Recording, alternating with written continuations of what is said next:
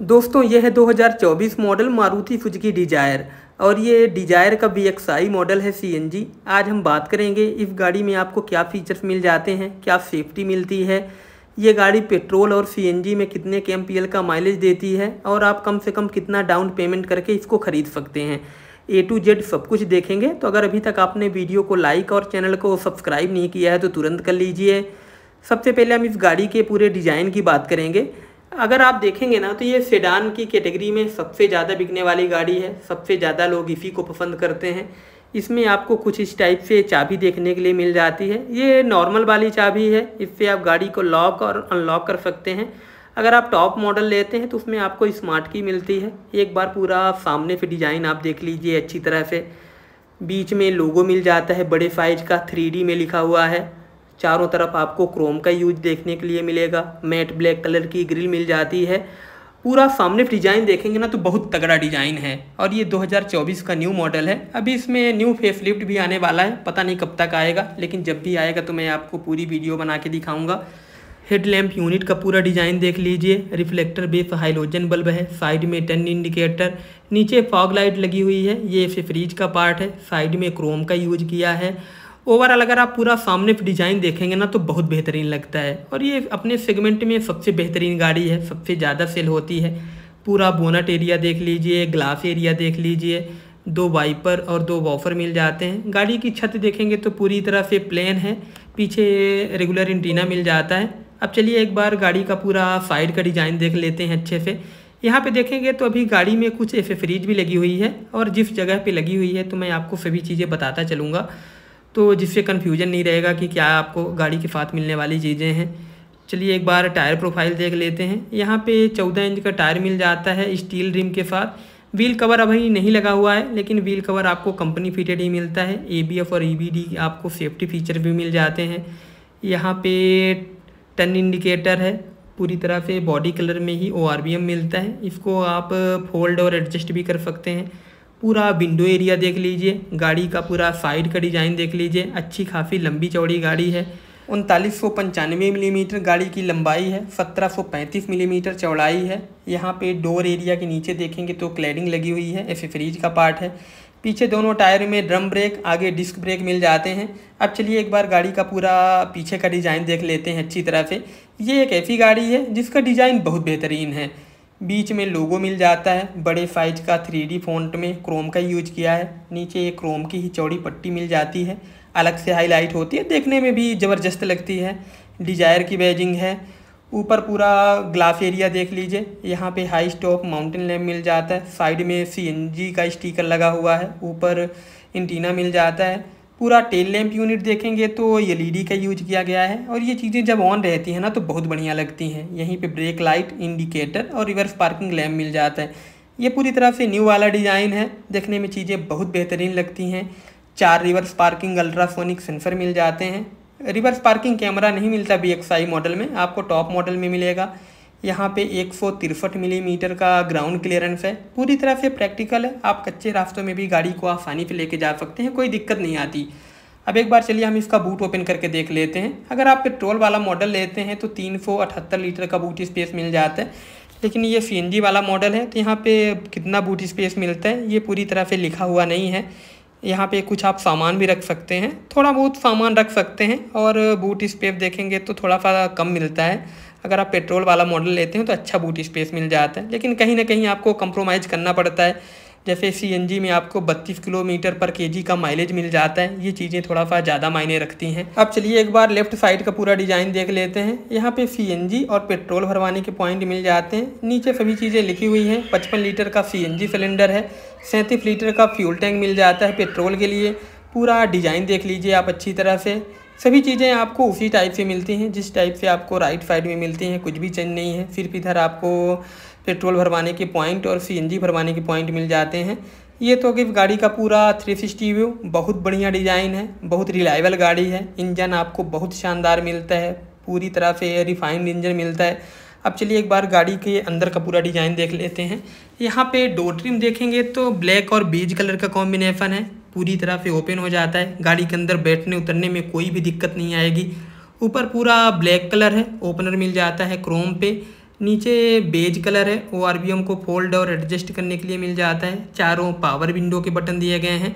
Driver side auto down का feature मिल जाता है। यहाँ पे फैब्रिक का यूज़ किया गया है। ये चीज़ें देखने में थोड़ा सा ज़्यादा बढ़िया लगती हैं।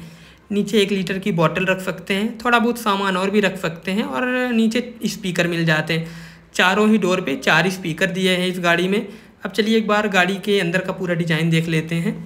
यहाँ पे देखेंगे तो ये सीट कवर लगा हुआ है। सभी एडजस्टेबल हेडरेस्ट मिल जाते हैं। ये भी बहुत अच्छी बात है। सीट पूरी तरह से फैब्रिक में है। कंफर्ट आपको अच्छे लेवल का मिल जाएगा। पूरी तरह से लग्जरी सीट मिलती है। कितनी भी दूरी अगर आप ड्राइव करेंगे, थकावट महसूस नहीं होगी। यहाँ पे सीट की हाइट और रिक्लाइन दोनों एडजस्ट कर सकते हैं और सीट को आगे और पीछे कर सकते हैं। ये सभी चीज़ें आप अपने हिसाब से मैनेज कर सकते हैं। पूरा डैशबोर्ड का डिज़ाइन देख लीजिए आप एक बार, बहुत प्रीमियम लगता है और डिवल कलर की वजह से और भी ज़्यादा अच्छा लगता है। ए सी वेंट दिए हैं यहाँ पे। नीचे पेट्रोल से सीएनजी में और सीएनजी से पेट्रोल में स्विच करने के लिए यहाँ पे फॉग लाइट के लिए ट्रैक्शन कंट्रोल हेडलैम्प के लेवल को फिट करने के लिए।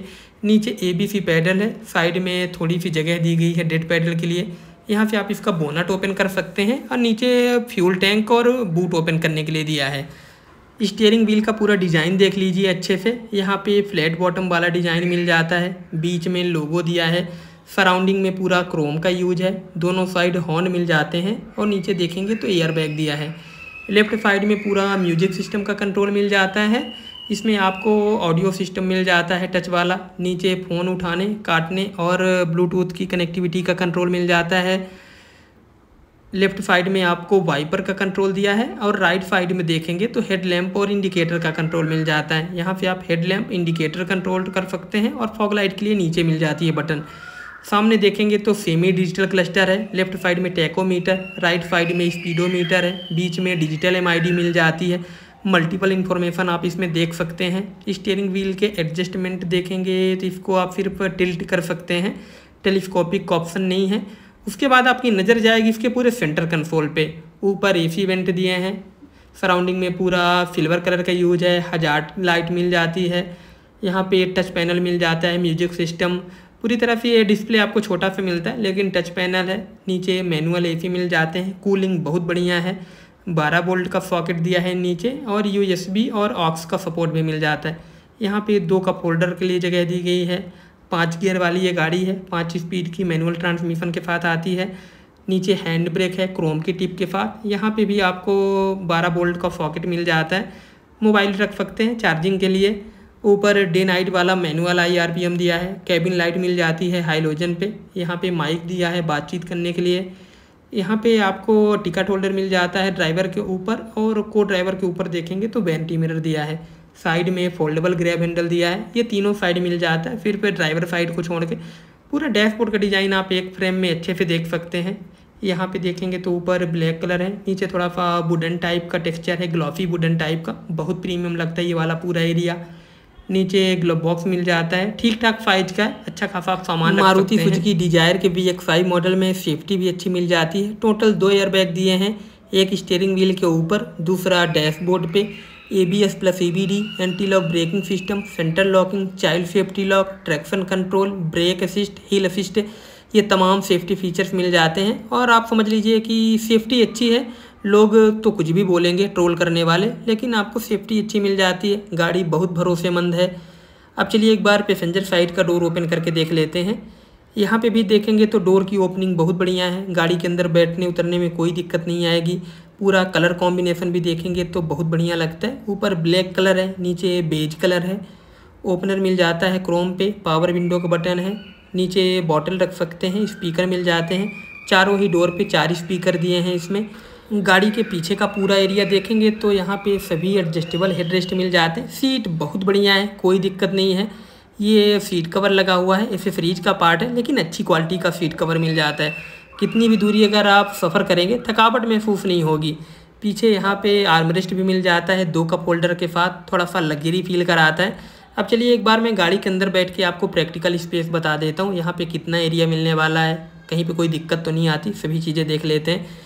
यहाँ पे आप पूरा लेग रूम देख लीजिए। आगे वाली सीट को मैंने पूरा ही पीछे किया हुआ है। उसके बाद भी भरपूर लेग रूम मिल जाता है। नीचे थाई सपोर्ट भी देखेंगे तो अच्छा है। पीछे वाली सीट में तीन लोग तो आराम से बैठ जाते हैं और चार लोग भी मैनेज हो जाते हैं, कोई दिक्कत नहीं आती। नीचे हम्प देखेंगे तो ओके ओके है। थोड़ा सा मिलता है, लेकिन कोई दिक्कत नहीं आएगी इससे यहाँ पे ये थ्री मैट रखा हुआ है। ये सब कुछ फ्रिज का पार्ट है। पीछे एसी वेंट भी मिल जाता है। नीचे कोई मोबाइल चार्जिंग का सपोर्ट नहीं है, आपको ऊपर मिलता है। यहाँ पे कैबिन लाइट मिल जाती है, हाइलोजन पे, येलो लाइट है। सभी जगह आपको फोल्डेबल ग्रैब हैंडल मिल जाते हैं सिर्फ़ ड्राइवर साइड को छोड़ के। अगर आप पीछे बैठे हैं तो कुछ इस टाइप से पूरा डैशबोर्ड का डिज़ाइन दिखता है। चीज़ें प्रीमियम है, गाड़ी के अंदर का पूरा एरिया देखेंगे तो लाइट कलर में है, जिसकी वजह से और भी ज़्यादा अच्छा लगता है। थोड़ा सा रूमी रूमी सा फील कराता है। ऐसा लगता है कि गाड़ी के अंदर बहुत जगह है, कोई दिक्कत नहीं है। अब चलिए हम बात कर लेते हैं इस गाड़ी के इंजन और माइलेज की और उसके बाद प्राइस की।